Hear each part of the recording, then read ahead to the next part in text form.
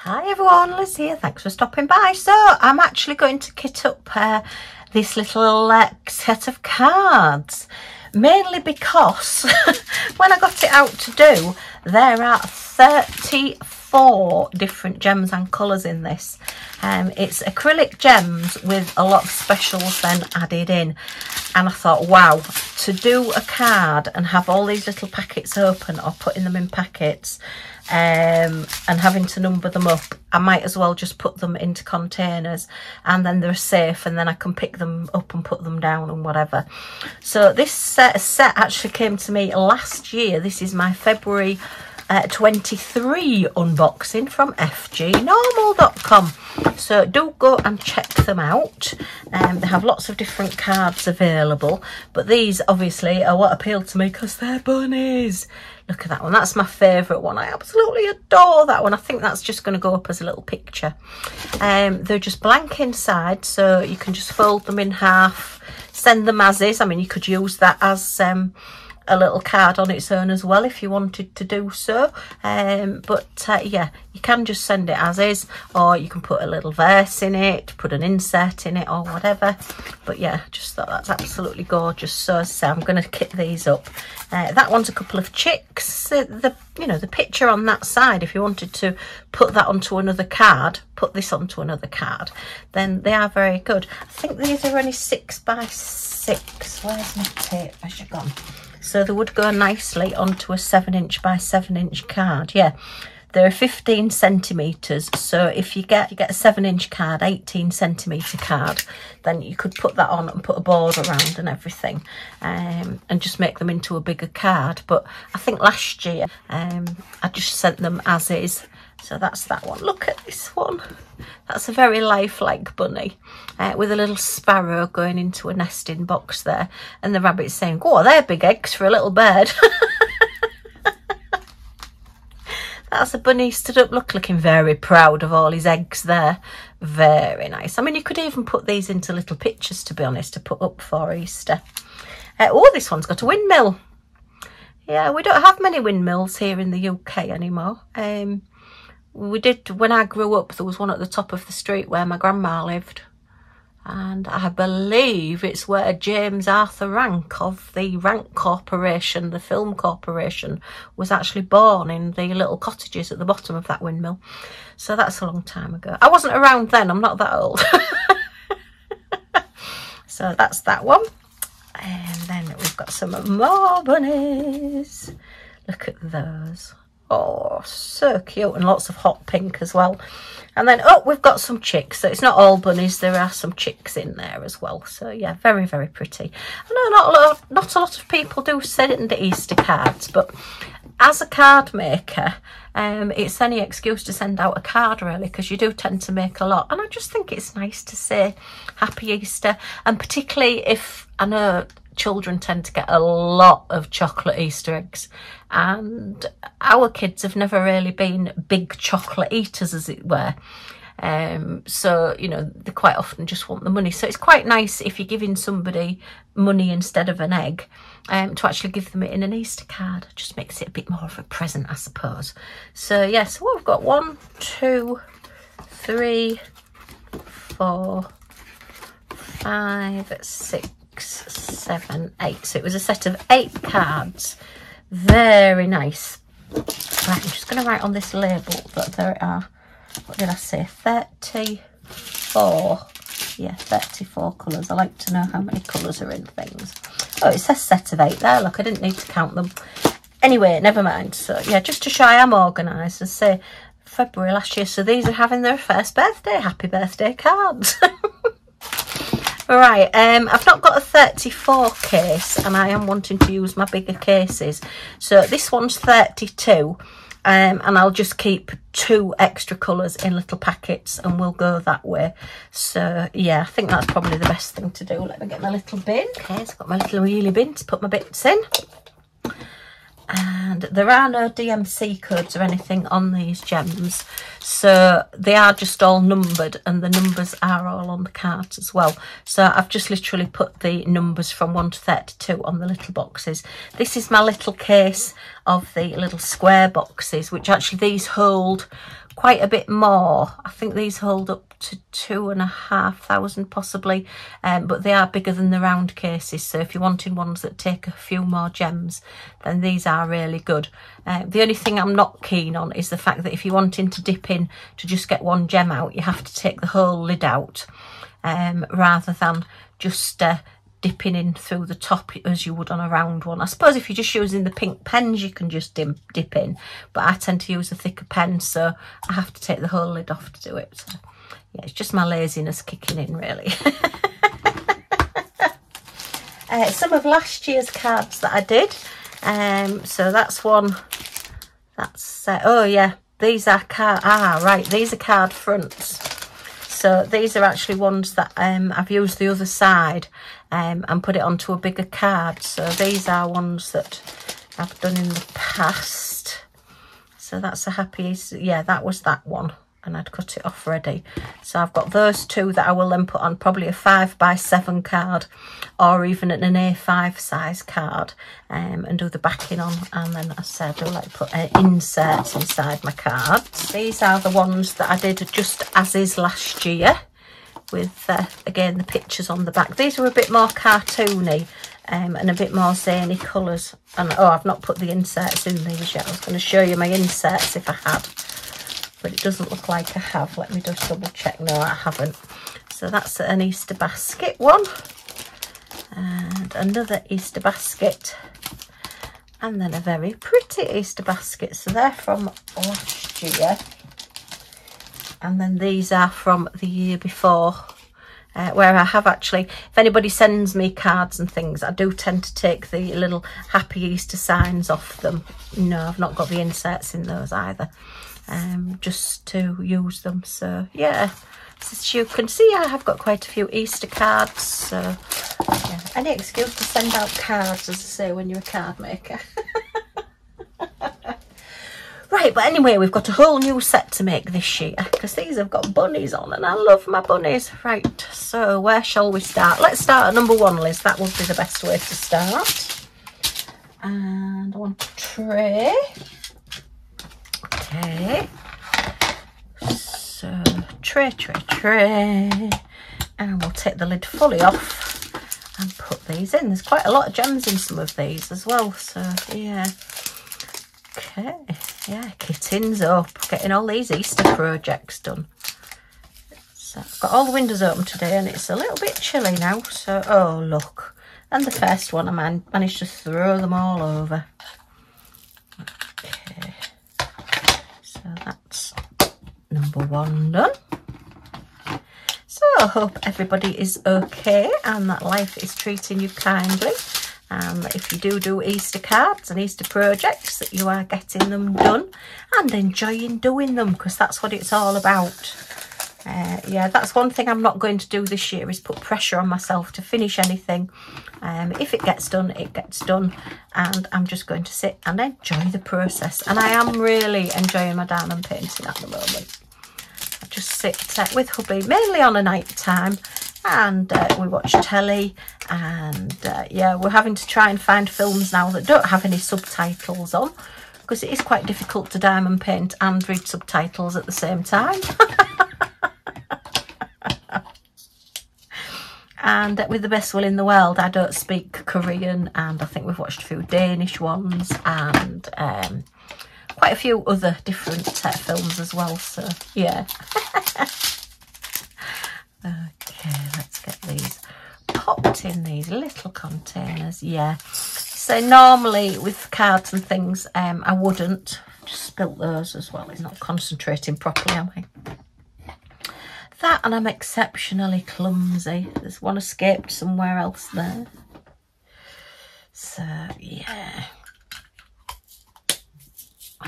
Okay, right, they're all in there. Okay, so number five. Come in, number five lovely yellow colour. Very nice. Oh, look, number seven's trying to get in there. Sorry, number six is trying to get in. Right, so just get as near to that line as possible so that uh, they don't escape out. Okay, Millie Moo is asleep next to me. She's had a really long walk today, so she's tired, but she also wants to know what I'm doing, so she's not sat on her chair. she had quite a bit of fun actually sitting on her chair watching what I was doing. Joining in with the uh, kittings up and unboxing. She likes unboxings best. She loves it when a parcel arrives at the house. She always has to go and put her nose in the bag to see what's going on. Yeah, hubby got a parcel, um, I think it was yesterday actually, and uh, Millie went across and was sat looking at him. Said, Why is she looking at me? She wants to see what you've got. Because he's not like me, he doesn't open past straight away. Yeah, it's, uh, it's quite difficult actually when I'm doing, oh, these are a bit staticky. That's why they're uh, jumping out of the pots. That's my excuse and I'm sticking to it. Yeah, they're sticking to the packets a little bit, so they're not going into the bottom of the packet to be poured. They're being naughty.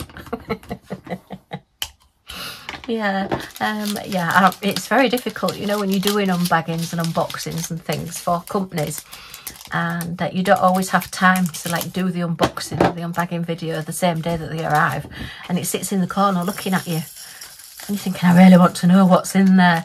Let me get it open. But now I have to wait. But hubby's like that anyway so yeah he's um oh come on out uh, yeah he was just sat there with the parcel next to him and he said well I don't really want to open it now. And I said well she'll just sit and look at you until you do. Uh, was nothing for her but uh, yeah she she wanted to know what he'd got so there you are. Okay that's that one. Right so number 10 cracking through these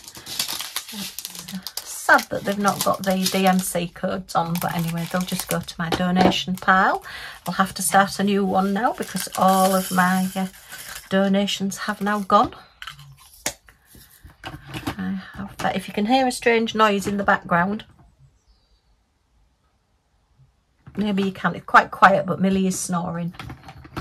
So go figure. I'm so boring. The dog's gone to sleep and is snoring. oh dear me. All good fun in this household. So, yeah, we're looking forward to Crufts this year. Um, we will be cheering on the Scotty dogs. It's a long time since the Scotty dog won. So yeah, we have been a few times and I have uh, been and sat and watched Best in Show as well. We did go um, one Sunday, well it is always a Sunday evening. Um, Crufts is always on the Thursday, Friday and Saturday of, uh, it's usually the second weekend in March. So yeah, it is this weekend and it is hubby's birthday as well. And when we actually went to see Best in Show, um, it was hubby's birthday that day as well. So we spent hubby's birthday at Crufts that year. It's great fun. So many cuddles, so many dogs, albeit you don't get that many cuddles uh, with the show dogs because once they've brushed them and combed them and everything, they don't want anybody touching them. They've got every hair in place and they don't want somebody to come up and go wee on the top. Although I must admit, I have wanted to do that several times, but no, I've been very restrained. But they do have a section there that's called Discover Dogs, so they try and have one of every dog breed, which there is over is there over 200 dog breeds? I think so. Um, well, that are registered with the Kennel Club anyway, um, the UK Kennel Club. And uh, yeah, they usually have one of each and you can go around and have a look and they have them all categorised into like the um, working and the pastoral and the gun dogs and the hounds and the toys and the terriers. Oh, and then the utility, which are the ones that they don't really know which ones to put in. Millie is a terrier. She's in the terrier group and uh, Lottie, her little friend, the little Shih Tzu she's in the utility group. So yeah, they're in separate groups, we're in separate corners. And they change each year as to which dogs are judged on which day. Um, I've not looked actually, I'm not sure what's um, going to be judged on Sunday because obviously they get a really good following and a really good cheer. Um, if it's a gun dog day um, on Sunday. So when the gun dog that wins the best of the gun dogs is uh, in the best in show, waiting to be judged for best in show, then uh, they usually get a really big cheer. Uh, yeah, but I do uh, love going to Crufts. It's a long time since I've been now. I think the last time we probably went actually was um, when we went and it was hubby's birthday. But I did have friends that used to breed dogs. Um, my first dog that I got, um, well, my second dog that I got actually, the lady who bred him, he was an American Cocker Spaniel. I say we called him Sweep. I think I've mentioned him before and I had him when I had my little West Highland White Terrier. And the lady who bred him, we went to Crufts with her. She was showing, so we had to be there at six o'clock in the morning. So we like had to set off at four o'clock in the morning to get there. And uh, that was really good fun. Honestly, if you've ever seen anything so funny in your life, because obviously the dogs, you know, they're expensive dogs. They're well looked after dogs because they're proper show dogs and uh, they were all sat on the coach seats. So you could see sort of lorry drivers and things going past, and obviously, you know, and other coaches. And you look in the coach, and there's all these dogs sat in the windows, looking out the windows.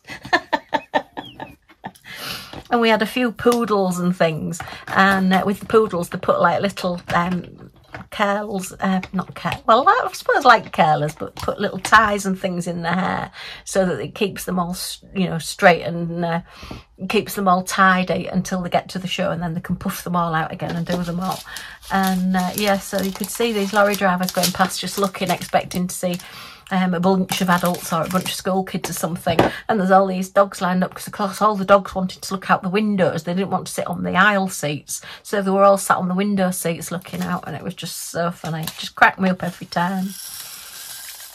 So, yeah, some of them were in crates, but on the whole, they're just like sitting on the seat and looking out the window. So, yeah, very spoilt dogs.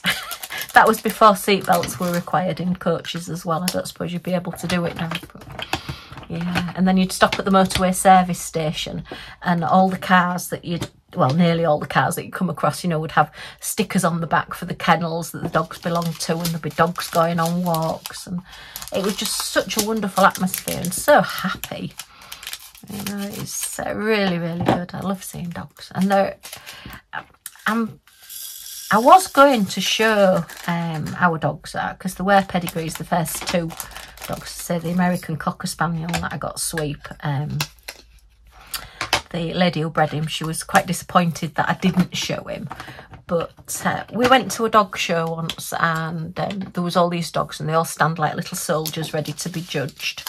And then there was this one dog and it was his first show. And uh, he took one look at the judge and just rolled over, his tummy rubbed. Well, I just couldn't stop laughing. I mean, everybody else was like, oh, that's disgusting, fancy doing that. You know, and I just thought, oh, that dog's been a dog.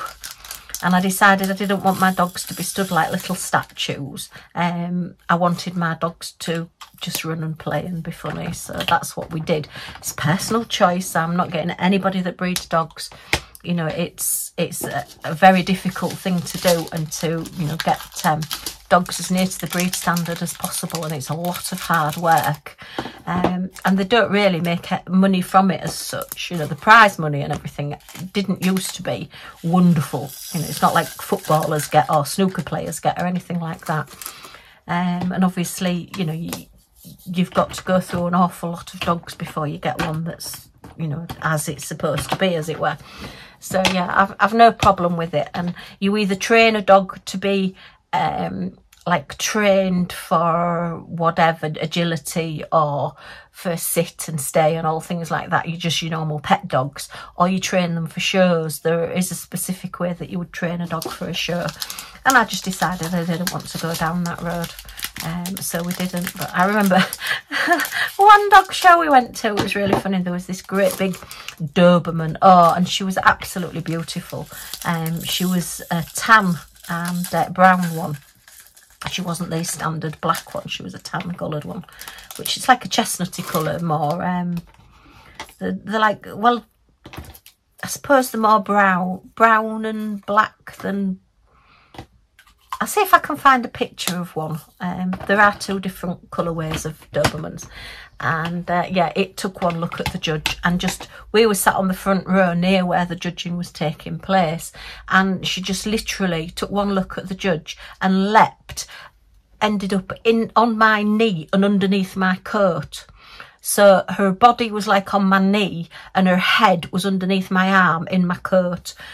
And I just couldn't stop laughing. I mean, I, she wasn't, because, you know, some people, well, she wasn't being vicious or anything. She was just decided, I'm not going near that vet. Uh, I'm not going near that judge and I'm going to hide and he can't see me and she just hid it and I, honestly it was just so funny and the owner's like oh I'm so sorry I'm so sorry and I'm like oh it's just you know don't mind me I don't mind having a cuddle I suppose it could have been anybody it just happened to be me that was sat there at the time and I ended up with this great big Doberman um, I was like oh okay suddenly wearing a Doberman tell you crazy things have always happened all my life. It just, I seem to attract them. Right, I've got rid of that one because I'm not opening the box again to put it back in. so yeah, we shall be watching Crufts and we will be Team Terrier. Makes me want to um, get out my uh, diamond painting dog pictures actually and do a few dogs. I know I've got a lot of Easter to do, but while Crufts is on, I feel as though I should be doing dogs. I know when I was making my 3D decoupage sheets to sell on Craftsuprint, which are still available, um, link down below, uh, yeah. Uh, when I was making those, I always used to do the ones specifically for the breed of the dog that was there. And then I used to put on special offer whichever dog won their best in breed.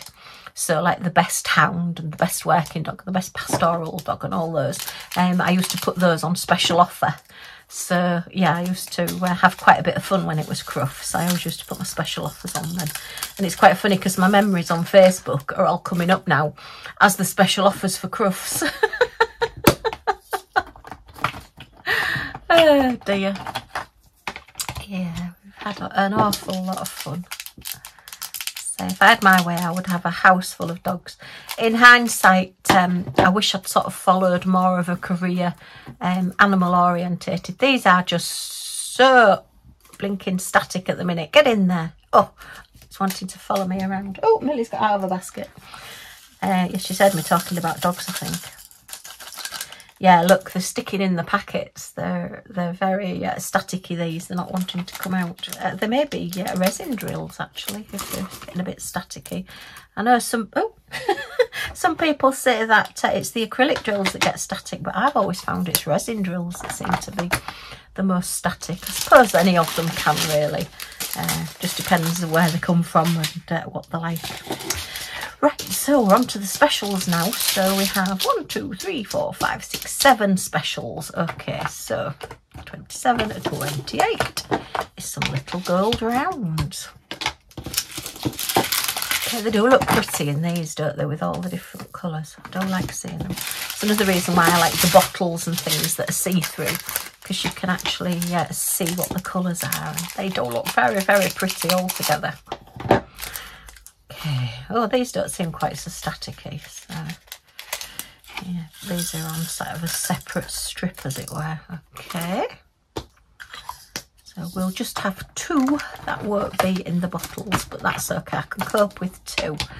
It's just, I think I would have, uh, yeah, just about driven myself mad trying to keep all these in order with them being so many a special drill project is a lot of different gems as well, I do tend to kit them up.